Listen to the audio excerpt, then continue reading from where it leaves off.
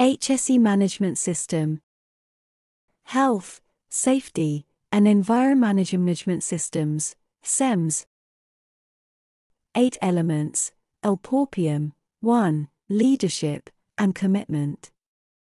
2. Policy and Strategic Objectives. 3. Organization, Resources, and Competence. 4. Risk Evaluation and Management. 5. Planning Standards and Procedures. 6.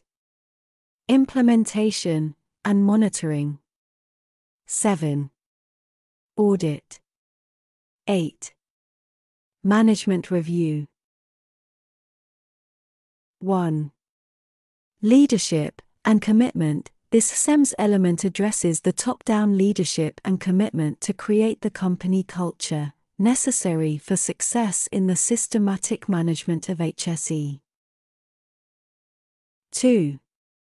Policy and strategic objectives. This SEMS element addresses corporate intentions, principles of action, and aspirators with respect to health, safety, and environment, and the aim of improved HSE performance. 3. Organization, resources, and competence. This SEMS element addresses the organization of people, resources, and the competence required of sound HSE performance. 4. Risk evaluation and management. This SEMS element addresses the identification, evaluation, and management of HSE hazards and evaluation of HSE risks for all activities, product, and services, and the development of measures to reduce these risks. 5.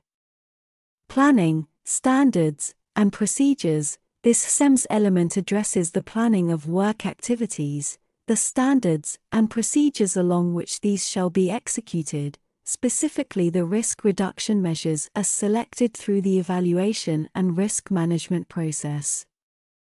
It includes safeguarding the integrity of assets, managing changes, and developing and testing emergency response measures. 6. Implementation and monitoring. This SEMS element addresses the manner in which activities are to be performed, monitored, and corrective action to be taken when necessary. 7. Audit. An audit program shall be in place to review and verify effectiveness of the management system.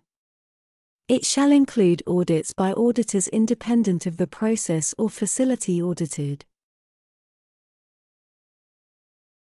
8. Management Review Management shall regularly review the suitability and effectiveness of the SEMS.